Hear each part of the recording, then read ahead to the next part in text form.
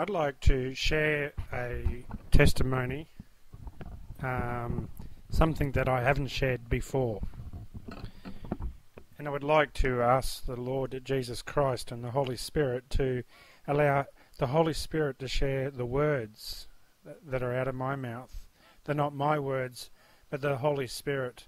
And of course, sharing my testimony is about the glory of God and glorifying God and giving it all to God. Part of my testimony is that I have seen what I believe to be God. It may be a um, manifestation, um, and it also is, for instance, the apprehension of saying that he saw him. Um, for instance, Moses knew no of any other ancient prophet that had possessed God's invisible. No human eyes have seen him. But Christ had knowledge of God which might be expressed to our apprehension by saying that he saw him. He knew intimately and completely and was therefore fitted to make a full manifestation of him. John 5:37, John 6:46, 1 John 4:12 and Exodus 33 and 20 and John 14 and 9. This passage is not meant to deny that man had witnessed manifestations of God and has ha, and as when he appeared to Moses the prophet. Numbers 12:8, Isaiah 6 1 and 13. But is meant that no one has seen the essence of God or has fully known God the prophets delivered what they heard God speak, Jesus what he knew of God as his equal and as understanding of the full, fully nature. Just reading from Barnes' notes of the Bible. So basically, I am looking at the fact of sharing you with a testimony that through his only Son, Jesus Christ, that died on the cross for you and I. I had drifted away from God. I've done this many times in my life. But God warns us very clearly that we must show obedience to God, to obey His commands, to love the Lord your God with all your heart and with all your soul. At one stage that I had done something silly and I had died. He was no longer in this world and I had done what I had done. And this is very important that we do listen to the Holy Spirit. We do listen to God. We put on the armour of God every day. We pray to God, not only just praying out loud, but praying in our minds and praying in our soul and our minds and our bodies. Praying to God every day. Listening to the Holy Spirit is much important. But I was able to see this apprehension of God. I was able to see God in, in a way that was so awesome and so out of this world. And I knew it was God. I died, and I could have been dead in an ambulance for more than 15 minutes or more and I was rushed to the hospital for doing something that I should not have done. See, people are hurting out there. There is pain and suffering. And the Lord Jesus Christ tells his followers, his sheep, that we need to go out into the world and bring people to Christ. Show compassion and love and kindness and understanding and encouraging people. Encouraging people and lifting people up. But I had done something very silly.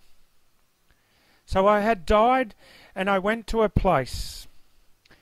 And the apprehension or the or the being that I saw, I believed it to be God. It was God because it had paused, it had turned towards this bright light, this brightest light, brighter than the sun. It was so pierce bright that when you looked into it, the light penetrated through your eyes to the back of your head and through the other side. It was so strong and so powerful. Just as Moses argued to God, just as Moses pleaded to God, so did I. But God said that I have to send you back to this earth. I have to send you back.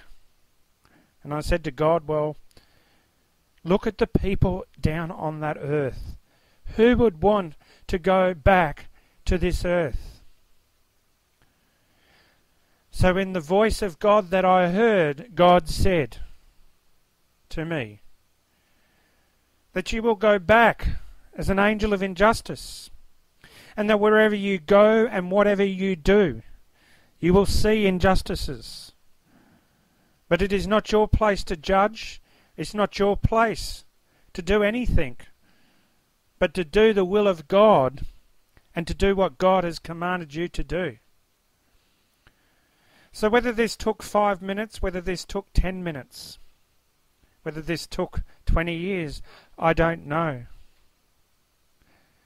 But I do remember very clearly this so awe inspiring bright light. And God was like this mist, this cloud mist.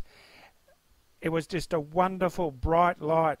And Jesus Christ was like this penetrating light, fire. Of course, you know, I'm going to be curious and I'm going to look over who God is communicating with. But it's very important for us to be listening to the Holy Spirit. It's very important for us to be praying and reading our Bibles and studying and getting into the Word of God. God is crying out for this land. He's crying out and He's saying, If you're found wanting, then come to Christ, just like I have done. But God has called me out of where I was in darkness to lightness, from the darkness into light. And I know that God is a wonderful God. Thanks to Jesus Christ dying on that cross and shedding his blood for me, I am now able to have a new life in Christ. My old self passes away, and I am now compelled by by Jesus. I'm compelled by the Holy Spirit and the compulsion that I must serve people and help people no matter what. And because God has appointed me as an angel of injustice, I can sit in the back of the church, and God has given me the gifts and the abilities to listen to every single person's voice and hear their genuine cries to God. I can hear every single and understand what people are saying. And this is where Christ is calling out. Jesus, the Holy Spirit, and God, one Godhead, is calling out to his people. Only if you listen and obey the obey the commands the Lord your God and obey all the decrees that I'm giving you today. That I'm giving you today. To be a family of God and be a unity of God. One family. One unity in God. And because God has appointed me as an angel of injustice, it is very hard for me. But God has called me to his ministry. God has called me to serve. But of course, we have a battle to win, and we have a battle to fight, and that is being in God's army. Jesus Christ loves you. He loves me. He loves the sinner. And He wants us to come to Him. And if you can hear Him in your heart and in your soul and your mind and body that He's calling you, then here's your opportunity to give your life to Jesus Christ today.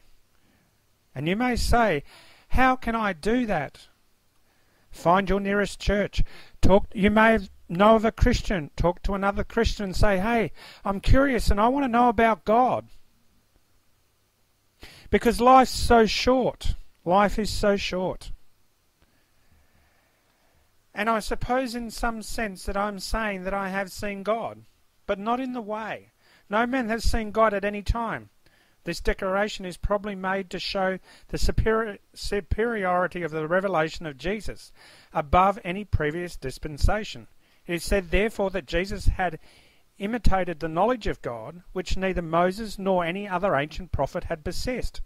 God is invisible, no human eye has seen him.